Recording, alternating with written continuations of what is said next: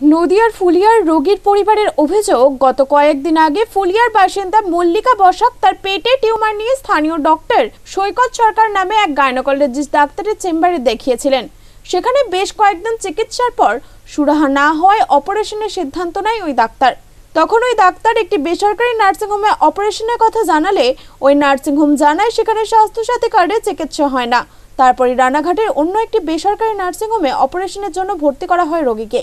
সেখানে সমস্ত পরীক্ষা করে অপারেশন করার পর কিছুক্ষণ ভালো থাকলেও তারপরে আবার অসুস্থ হতে থাকে ওই রোগী। তারপর সেই রোগীকে রেফার করা হয় কলকাতা আরজিকর হাসপাতালে। অভিযোগ, সেই সময় সমস্ত রকম কাগজপত্র রোগীর পরিবার চাইলেও কোনো কাগজপত্র ওই ডাক্তারের তরফ থেকে দেওয়া হয়নি। বরং বলা হয়েছে, ফোনে আমি বলে দিচ্ছি, আপনারা আমার নাম বললেই ভর্তি হয়ে যাবে। পরে রোগীর পরিবার আর্জি করে রোগীকে নিয়ে গেলে তারা ওই ডাক্তারের পরিচয় দিলে ভর্তি নেয় আর্জিকর। সেখানে আবার অপারেশন করতে বলা হয় রোগীর পরিবারকে। সেখানে প্রায় চার ঘণ্টা অপারেশন করার পর বলা হয়, আগের যে নার্সিং হোমে অপারেশন করা হয়েছিল, সেখানে ভুল অপারেশন করা হয়েছে যার ফলে রোগীকে আর বাঁচানো সম্ভব হবে না। পরে রোগীর মৃত্যু হলে মৃতদেহ নিয়ে রানাঘাটের নার্সিং হোমের সামনে বিক্ষোভ দেখায় রোগীর পরিবার। অভিযোগ, সেখানে নার্সিং হোম কর্তৃপক্ষ রোগীর পরিবারকে মারধর করেছে। আর্জি করে ভর্তি করে দাও, আমি ডাক্তারের সঙ্গে কথা বলেছি। তারপরে ওই ডক্টর সৈকত সরকারই কোথায় কোন ডাক্তারকে ফোন করে আর্জি করে ভর্তি করানো হলো এবং সেই সময় আমাদেরকে উনি কেন জানি না আমাদের দশ হাজার টাকা উনি আমাদের দিয়েছিলেন। দিয়ে বললেন যে এই টাকা ডক্টর সৈকত সরকার কেন? দিয়েছিলেন বললেন যে আমরা আমাদের বললেন যে এই- এই মুহূর্তে টাকা পয়সার একটু সমস্যা হচ্ছে গাড়ি ঘোড়ার সমস্যা হচ্ছে তার জন্য দশ হাজার টাকা নাও নিয়ে ট্রিটমেন্ট করো পেশেন্টের তারপরে আমরা ওইখান থেকে ডাইরেক্ট আর্জি করে নিয়ে গেলাম। হ্যাঁ উনি আর্জি করে নিয়ে যেতে বললেন। বললেন যে আমার ডাক্তারবাবুর সাথে ওখানে কথা হয়ে গেছে ওখানে নিয়ে গেলে ভর্তি হবে। তারপরে আমার ডাইরেক্ট আর্জি করে নিয়ে গেলাম কিন্তু সেখানে নিয়ে গিয়ে তো প্রথমে ভর্তি করতে পারলাম না। পরে অনেক কথা বলার পরে ওনারা ভর্তি নিলেন। ভর্তি নেওয়ার পরে রাত বারোটার সময় ওনারা আবার ওটি করলেন। ওটি করে তার আগে আমাদেরকে বললেন যে এরকম ব্যাপার পেশেন্টের অবস্থা ভালো না। পেশেন্টকে কিন্তু সেবার নার্সিংহোমতেই শেষ করে দিয়েছেন ডাক্তার সৈকত সরকার। ওইখানে গিয়ে জানতে পারলাম যে ডাক্তাররা বললেন যে সৈকত সরকার যেখানে ওটিটা করেছেন সেবাদ নার্সিংহোমে ওই ওই ডাক্তার ওই ডাক্তারই পেশেন্টকে শেষ করে দিয়েছেন। হ্যাঁ, কিন্তু ডিটেলসটা বললেন না বললেন পেটে পেটের খাদ্য নালি ফালি এগুলো সব কেটে ফেলেছেন। কেটে ফেলার পরে তারপর ডাক্তাররা বললেন তাহলে আমরা আরেকবার ওটি করে দেখব পেশেন্টকে সুস্থ করে তোলা যায় নাকি? তা ওনারা যথারীতি ওটি করার পরে রাত দুটো আড়াইটার মধ্যে পেশেন্ট একবার জ্ঞান ফিরেছিল তারপর তো আর জ্ঞান ফেরেনি।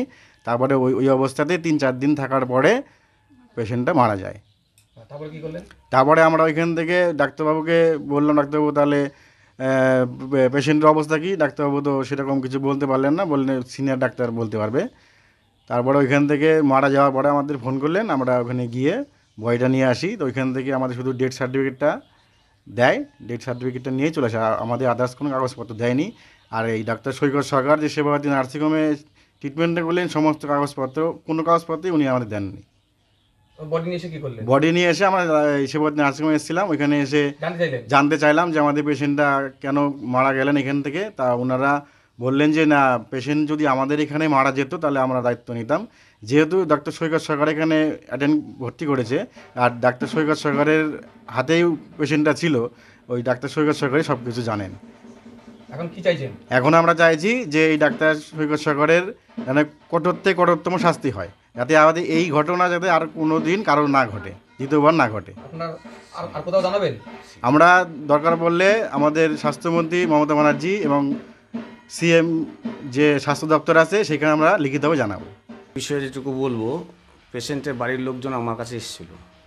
তারা আমাকে জানায় সেবারতী নার্সিংহোমে, ডাক্তারের সাথে যোগাযোগ করে তারা সেবারতী নার্সিংহোমে একটা টিউমার অপারেশন করতে যায়। কিন্তু টিউমারটা অপারেশন করার সময় যা কোনো ভুলবশত তার খাদ্যনালী বা পেচ্ছাপ নালী কেটে যায়।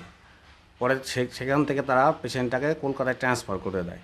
কলকাতা নিয়ে যাওয়ার পরে পেশেন্ট মারা যায়।